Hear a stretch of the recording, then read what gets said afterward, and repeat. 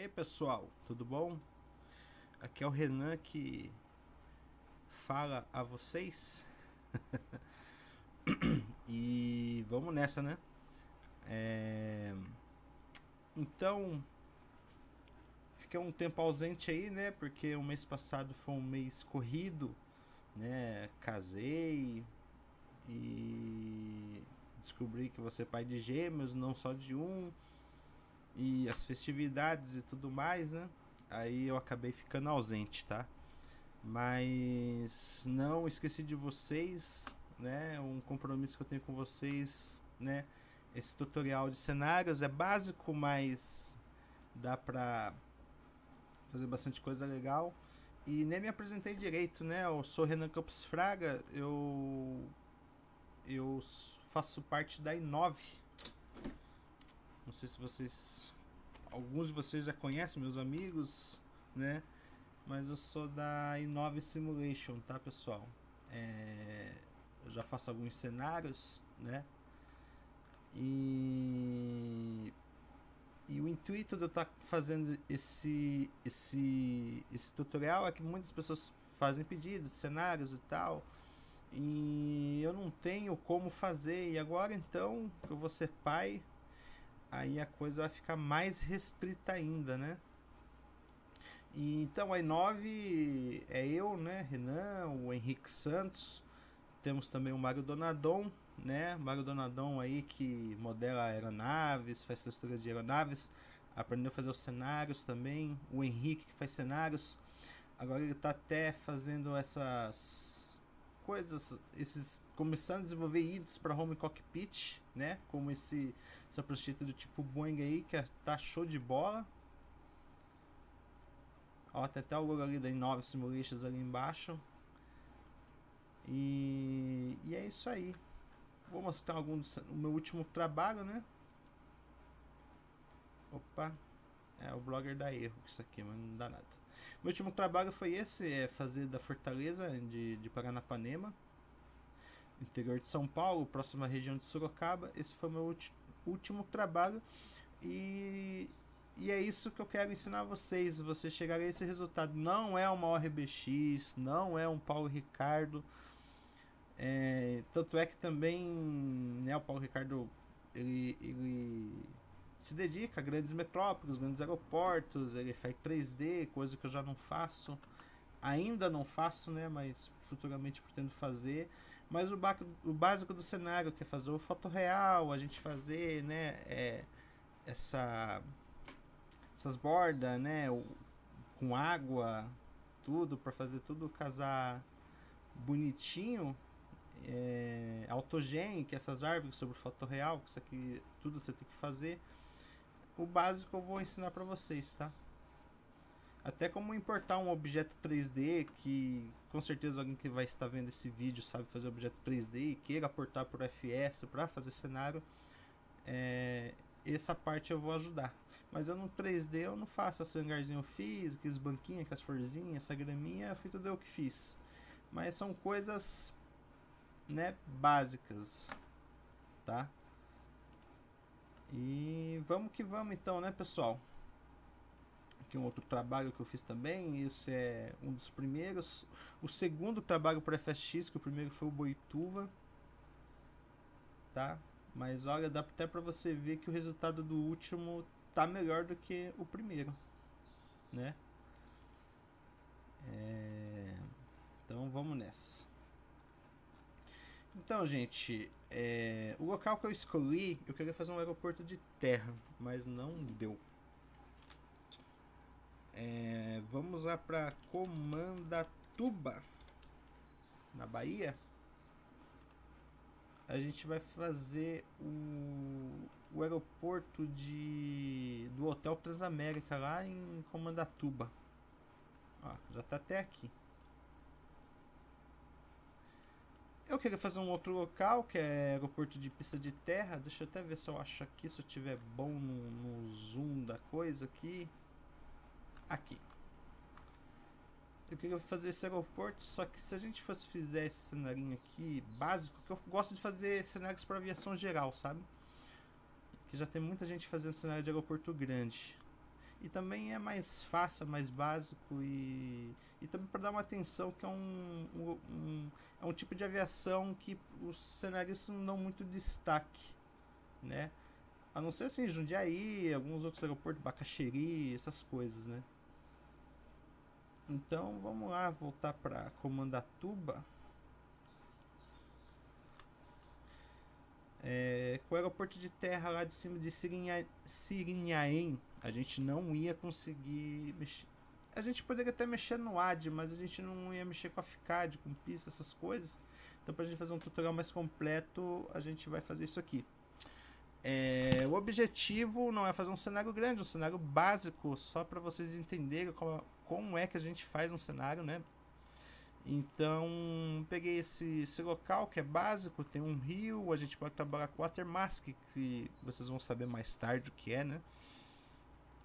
É, podemos fazer uma imagenzinha noturna aqui, dar uma iluminar nessas ruas de terra, colocar as luzes, né, da uma, as luzes noturnas também em 3D, tá? E, e é isso. Então esse é o local que eu escolhi pra gente tá fazendo, né? Poderia estar tá aqui, não há necessidade, mas vamos lá, né? É, então, primeiro de tudo, a gente vai, como prometi na semana passada, a gente vai gerar um, um foto real, tá? Deixa eu fechar isso aqui, isso aqui que, que é? Beleza. Eu já tinha gerado que eu tentei fazer o, o tutorial anteriormente, mas deu um bug, né? Então a gente vai fazer do zero de novo. Eu testei para ver se ia dar certo já, né? E para a gente poder fazer esse local, deixa eu deletar uns arquivos que a gente vai eu vou fazer tudo do zero para vocês verem, ok? Então deixa aqui, esse builder, tools, work, Ctrl A e delete. Vamos fazer tudo zero. Então vamos lá, primeiro de tudo a gente vai abrir o builder, né? A gente vai abrir o builder. Se vocês quiserem fazer um outro local que não esse, vocês podem fazer e seguindo o processo aqui do tutorial, ok? É... Então, ao você escolher o local, qualquer o local que seja, aqui pelo mapas do Google, a gente tem aqui no nosso no, no link de, de, endereço, a gente tem aqui o local, que as coordenadas aqui, ó, após o barra arroba tem as coordenadas, latitude, longitude, altitude, divisão. Altitude e divisão a gente não vai usar, a gente vai usar a latitude e a longitude tá incluindo o sinal de negativo, tá? Isso determina se a gente está ao sul do Equador e a oeste de Greenwich. Ok? Então vamos lá, vamos aqui em File, né? É, vamos abrir aqui um novo projeto. Aeroporto de Comandatuba ou outro aeroporto que você queira trabalhar. Vamos dar um OK. Tá? É, então, estamos aqui, né? O que acontece, minha gente? Eu ia passar para vocês a tag do Google para a gente poder trabalhar com a imagem do Google Satélite, tá? Só que o que está acontecendo? Eu vou mostrar para vocês. Eu vou aqui em editar preferências Google Satélite, tá? É, vou mostrar para vocês o que está acontecendo. Então o que a gente vai fazer? Vamos vir aqui em View, Go to Position, tá? Aí aqui a gente vai ter que colocar as atitude e longitude, correto? Então o que, que vai acontecer? A gente vai pegar a atitude, lembrando do sinal de negativo, para dizer que estamos ao sul do Equador. E vamos colar aqui na latitude e vamos copiar aqui a longitude para dizer que estamos a oeste de referência da, da longitude, tá? Então, latitude e longitude inseridas, tá? É, não apareceu nada, tudo bem, mas o nosso local está exato, tá? Feito isso. Estamos aqui no zoom 8, tá tudo branco para que a gente surja com a imagem de satélite, a gente vem em view e habilitamos o show background, tá? Olha lá, carregou as tags. Olha o que o Google tá fazendo, que sacanagem, né? Está colocando essas tiles brancas, tá? Então a gente não consegue trabalhar com o Google. Eu já ouvi falar que muita gente já passou por isso. Eu, particularmente, é a primeira vez que estou passando por isso. Na época do primeiro vídeo, não estávamos tendo esse problema com o Google Satellite. Que eu, que eu até estava vendo de fazer um cenário. Mas ocorreu isso aqui, eu não sei porquê. É, se com você estiver ocorrendo também, não der para usar a imagem do Google, vamos aqui em editar, preferências e vamos aqui isso aqui, ó, Virtual Earth Satellite, Earth, Earth, ou é Earth, eu nunca sei, não sou bom em inglês e também nem é o propósito do tutorial, tá? É, o Yahoo Satellite não funciona, Scriptmap vai aparecer imagem de Scriptmap, então a gente não, não vai precisar usar isso. Vamos até colocar aqui. Ele vai carregar style, olha lá que ele aparece, né? Então a gente vai usar aqui do Earth o Virtual Earth Satellite.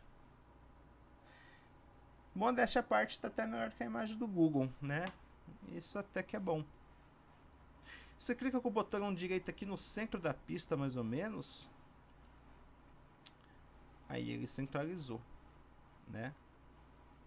Aí, conforme você mexe no scroll lock da imagem, ele afasta e aproxima, né, no o zoom do satélite. Clicar com o botão direito segurar, aliás, se você clicar no scroll lock segurar, você arrasta o mouse e ele vai mexer aqui. Mas isso aqui não aconselho usar, prefiro botão direito e center, porque o Builder é um software meio que bugado, então ele pode travar, tá? É, então, como eu disse, é um lugar básico, só para a gente poder fazer aí, né, um cenário básico que dê para aproveitar todas as dicas aí, né? de você gerar o watermask, que é para você fazer o rio, né, dar o efeito de água 3D igual do, do, do simulador, sobre o rio, imagem noturna, fazer o, o, o, Blender, o Blender que é é Blender, agora até me fugiu, é, acho que é Blender mesmo, que a gente vai mesclar o cenário fotorreal com o cenário default, tonalização também na imagem. Não vai dar para fazer tudo isso só nesse tutorial, eu vou dividir em partes tá ok? E agora esse ano, por um, cada uma vez por semana eu vou estar tá lançando um vídeo, tá pessoal? Não vou ficar um mês ausente, tá? É, então vamos lá. Vamos centralizar aqui, mais ou menos no centro da pista. Aqui tem uma área mais ou menos que eu preciso nesse Zoom 14, tudo que eu quero para o meu foto real. Para a gente gerar essa foto de satélite dessa região, a gente vai vir aqui em File, tá? Vamos aqui em Add Map, Background, From Background. Aí a gente tem uns zooms aqui. Você pode ver que conforme a gente muda, as tiles mudam, tá? Elas, elas vão é, duplicando, tá? Olha lá. E conforme você vai mudando, lógico que o tamanho do arquivo vai ampliando, tá? Aqui ele já está dando que o máximo que eu consigo para trabalhar com essa região é zoom 18, tá? Se você for fazer um cenário pequeno, um só do aeroporto, outra coisa, eu indico esse zoom ou até um zoom maior se o local permitir. Para você saber qual o máximo do zoom que o local permite, você vê no scroll lock que dá um zoom máximo, ó. Você vê que aqui no canto inferior esquerdo aqui, ó, ele, ele apresenta o zoom, né, que você está trabalhando, zoom 16, zoom 17, 18. O 18 tem imagem. 19 já não tem mais nada. Deu tudo branco. Então você o limite máximo que você tem de zoom para trabalhar é o 18. Se você for fazer uma cidade toda, você pode fazer zoom 18, mas meu amigo, vai dar um trabalho.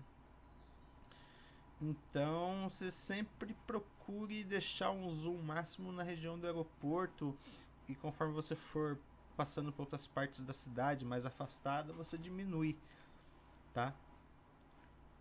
Então, o Zoom 14 tem toda a área que eu quero trabalhar aqui, né? No caso. Então, a gente vai trabalhar aqui. Isso aqui é o que você vê, não necessariamente o que você vai baixar. O que você vai baixar, você vai determinar aqui em ADD Map. Então, vamos aqui em ADD Map, From Background eu quero trabalhar com Zoom 17, que vai dar 500 MB, uma imagem de 500 MB. A BGL não vai ficar desse tamanho, não se preocupe, mas a imagem sim. E o problema de você pegar uma área muito grande e colocar uma área, um zoom 18, nesse caso, ó lá, a imagem vai ter 2 GB e não sei quantos pixels. E isso o Photoshop vai dar uma gargalada boa. Então, para que isso não ocorra, eu vou trabalhar com zoom 17. A gente não é obrigado a selecionar toda a área, tá? A gente pega só o que a gente quer. Eu vou pegar aqui dessa parte aqui da, abaixo da nuvem. Vou pegar um lugar aqui que eu pegue a praia e corresponda a toda a área do aeroporto, tá? Então tá aqui. Aqui, se eu pegasse um 18 com essas que eu selecionei, ia dar um, uma de 700 MB, mas não há necessidade. Eu vou trabalhar mesmo com os 17 focar um, um arquivo menor. Calma aí, deixa eu centralizar aqui, botão direito e centralizando. File, add map e background de novo. Vou pegar aqui abaixo da nuvem, região da praia.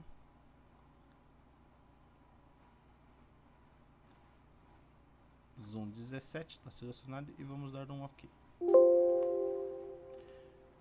Ele informou que falta 17 tags a ser baixada, dá OK. Pronto.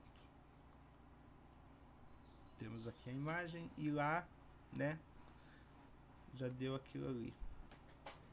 Mas isso não, há, não é um problema, tá? Então agora o que acontece? Se você quiser fazer uma região maior de satélite, né?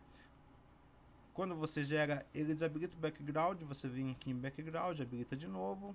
Aí o quadricular da imagem que você já tem gerada, ok? Aí você vai ter que ir emendando o fotorreal, tá? Então você vai vir aqui de novo, né, add, né, o, o background de novo. Você pode até mudar né, antes centralizar aqui, que vai ser o centro da próxima imagem, né? Aí você vem aqui file, add pelo background, né? Zoom 17. Mesmo zoom da imagem anterior, ou se quiser usar o inferior também pode, a imagem vai ficar menos nítida. Vai selecionar, vai usar tipo a marca de referência aqui, ó, nessas ima nessa imagem, né, você já gerou, vai usar uma referência, tipo aqui abaixo da nuvem, né? Vai selecionar e vai dar mais ou menos o tamanho e vai ver o canto inferior esquerdo da imagem já gerada e vai dar um OK. Dando um OK, ele já vai baixar as tiles. Aqui ele está gerando normal, mas às vezes quando você aqui no canto inferior esquerdo, você vai ver que ele vai tipo ficar buscando uma tile e, e não vai gerar e o builder vai ficar parado. Aí o que você faz para resolver isso? Você vai em cancela, né, a operação A, vai em view, desabilita o background, reabilita, seleciona de novo, aí ele vai trabalhar. Olha lá, tá vendo? Ele emendou. Isso é para você fazer uma região grande, né? Eu, como não vou usar, vou deletar. Isso aqui é só para quem quiser fazer um, um local maior. Como não vou usar, aqui na pasta Work lá, está as imagens. Lembrando, é, na pasta do S-Builder, ferramentas, work, e ela está aqui. E você pode ver que cada imagem tem um arquivo info das coordenadas e de essas coordenadas são o ponto superior, inferior esquerdo e direito, tá? Que ele usa para quando você gerar a BGL, você o simulador reconhecer qual é o topo e a parte inferior da imagem, tá? Pessoal, eu já volto. Pessoal, voltei, a minha patroa chegou aqui. Retomando, né? É... Aqui, então, no caso, a gente já gerou a imagem de satélite, tá? É... Deixa eu centralizar aqui, né? Que eu apaguei aquela outra imagem gerada. E para quem for fazer uma região maior, vai emendando e vai ficar na pasta Work. Só que aí você vai ter que editar e retrabalhar todas as imagens. Esse a aula de hoje era praticamente essa. Como gerar o foto satélite, tá? E na próxima aula a gente vai estar tá trabalhando na edição dessa, dessa imagem de satélite ou quem fazer várias vai ter que editar todas, tá? É um processo bem trabalhoso, tá? Então, para a gente confirmar que esse, essa imagem de satélite ela vai surgir lá no FS, então simplesmente a gente vai dar aqui um. Ou você pode dar um Ctrl A, tá vendo que ela apareceu uma barra verde aqui na lateral da imagem, ou você pode vir aqui no próximo da barra e clicar também, ele vai selecionar, né? E a gente vai aqui em File, Compile, BGL Compile, tá? deixar habilitado Photoscenery. Essas duas opções aqui a gente não precisa, tá? E vamos aqui em Compile. Ele vai gerar uma imagem. Lembrando que a gente só vai testar para ver se deu tudo certo. Que essa, esse não é o resultado final, tá? Vamos aqui deixar ele gerar a imagem.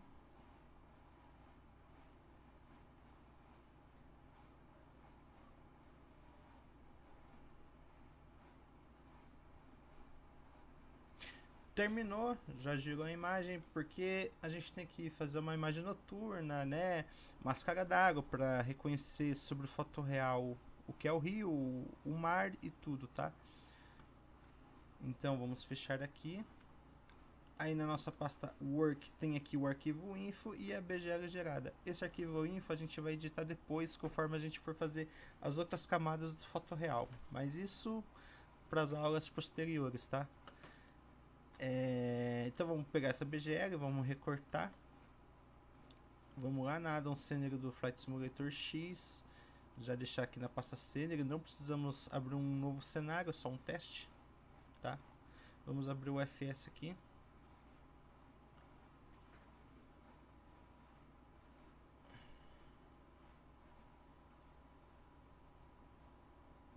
Já reconheceu a BGL nova. Então, pessoal, é... eu pesquisei aqui o ICAO desse aeroporto é Serra Bravo Tango Charlie, tá? Então vamos aqui em, Serra Bravo Tango Charlie. É, Hotel Transamérica, UNA Brasil, né?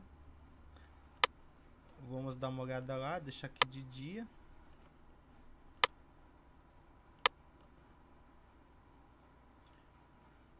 Vamos nessa, tá carregando aqui.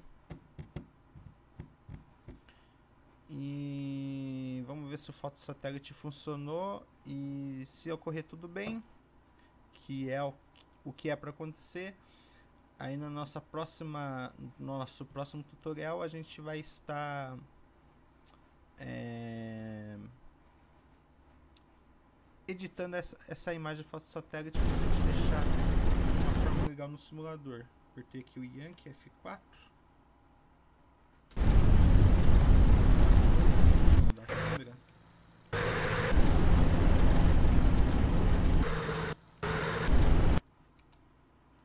E funcionou. Olha lá que legal.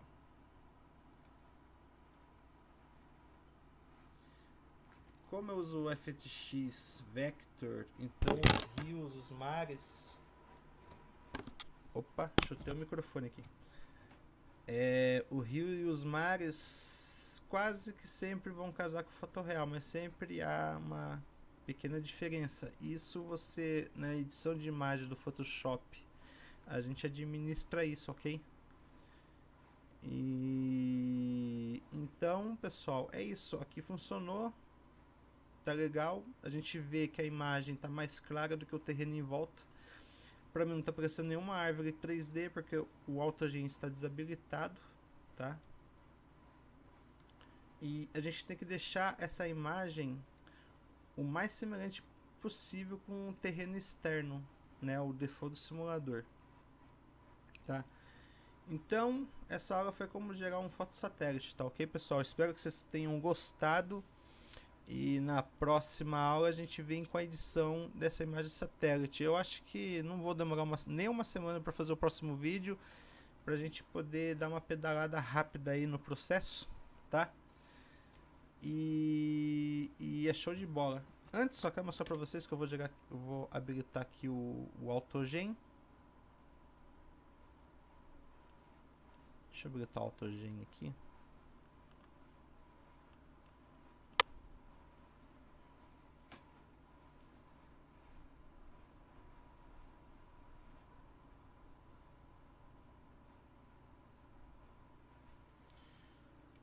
Então, esse AutoGen, olha para você ver, as árvores aqui surgiram, né? Só que sobre foto real, ele elimina tudo do que é o terreno, né, default, né, que é uma camada superior, tá? Só que esse AutoGen a gente vai fazer sobre a imagem foto real para ficar bem legal, tá? Então é isso, pessoal. Vou encerrar por aqui, tá? E eu vou tentar fazer hum, com no mínimo com no máximo, perdão, uma semana após esse vídeo já tá com outro vídeo presente aí para vocês. Se der para me fazer antes, eu vou fazer antes que eu acho que vai ocorrer, OK, pessoal? Então, muito obrigado, vão treinando aí, gerar as imagens satélite, deixa tudo preparadinho aí pra gente passar para a parte de edição de imagem, OK? Um grande abraço. É, boa semana a todos e até a próxima. Valeu!